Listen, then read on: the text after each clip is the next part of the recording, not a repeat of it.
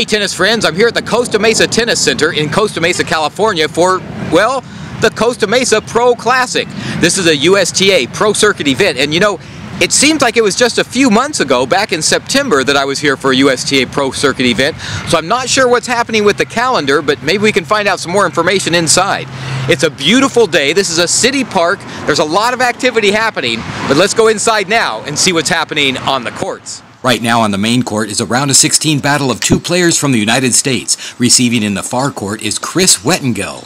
Serving from the near court is, you're not going to believe me, but his name is Tennys Sandgren. That's right, Tennys Sandgren.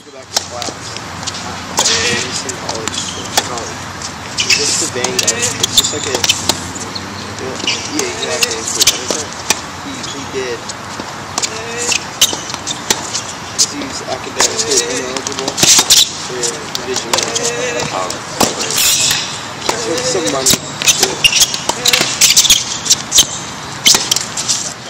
After a changeover, Chris Wettengel is in the near court, serving to Tennys Sandgren.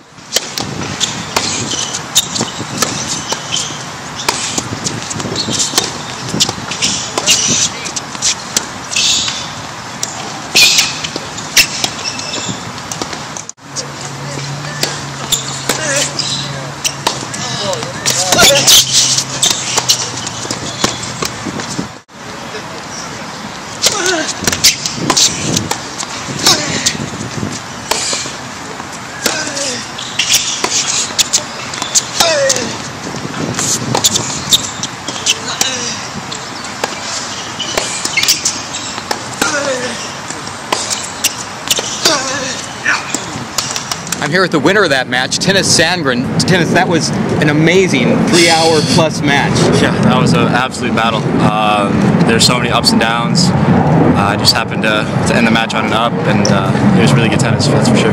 You had a lot of winners that looked like clear winners to me, but he was scraping and scrapping and pulling some stuff out of Gosh. his magic hat out there. He uh, he got to a ton of balls. I felt like I, if I hit one, two really good shots, that would normally be a winner, if not a sitter volley. Um, I'm having to hit, dig out really tough shots somehow. Um, he, he won a lot of points where he dug deep, ran down balls. You're right, pulled them out of his hat. Last week you won the Calabasas Challenger. Now you're uh, in the quarterfinals of this one. So uh, do you feel you have a target on your back, or is it just all part of being on the circuit? Uh, maybe a little bit. Um, you know, it's tough to, to, to win a tournament one week and then come play the next week. You're, I'm mentally tired, physically tired.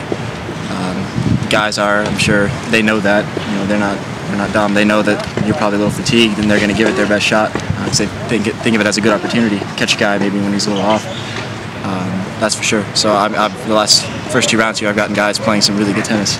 I'm standing here right now with Hank Lloyd, who is not only the tournament director for this tournament, but you're also the uh, director of tennis here at the uh, Costa Mesa Tennis Center. Is that correct? Exactly. For City of Costa Mesa and Costa Mesa Tennis Center for the last, you know, 14, 15 years. I was just out here in September covering an event here. So this is an additional event that's been added to the calendar?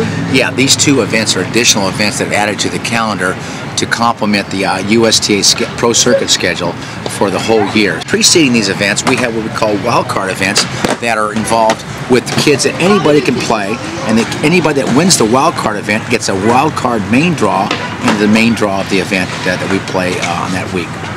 So who is that open to? It's open to anybody. You know, as far as open uh, adults, junior, a lot of times the kids, college kids that are uh, trying to uh, obviously entertain a fact going going on the pro circuit, as well as some of the top junior kids that come out to try to see if they can challenge the, uh, the journeymen and the pros that are out there playing to to make a mark and uh, find out if it's something they want to do. Well, I think it's a great opportunity for anyone in the Southern California area to come out here to the Costa Mesa Tennis Center this September because you've seen the, the highlights that I've shown you from this event and everything. You got to come down here. It's really exciting and it's a lot of fun. And thanks so much. I appreciate you. It's another round of 16 match. In the far court is someone who I first featured when he won the 2010 Easter Bowl and is now the 2011 French Open Junior Champion. He's the only American to hold that title in the Open era since John McEnroe in 1977. Now receiving is Bjorn Fratangelo. Serving in the near court from Brazil is Alessandro Damiano Ventre.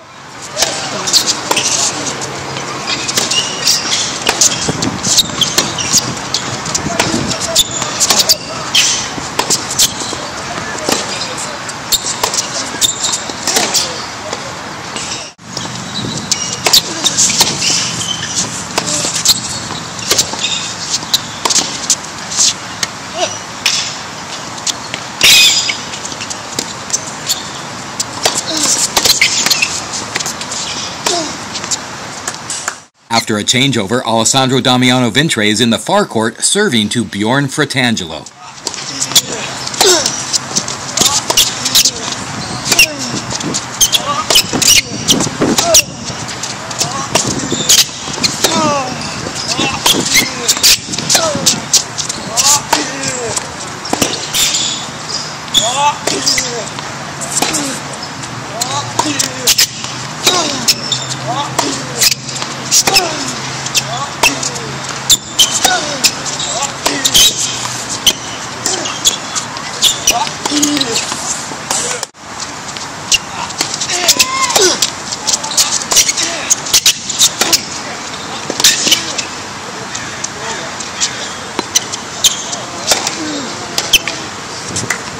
I'm here with the winner of that match, Bjorn Fratangelo. Bjorn, how you been lately?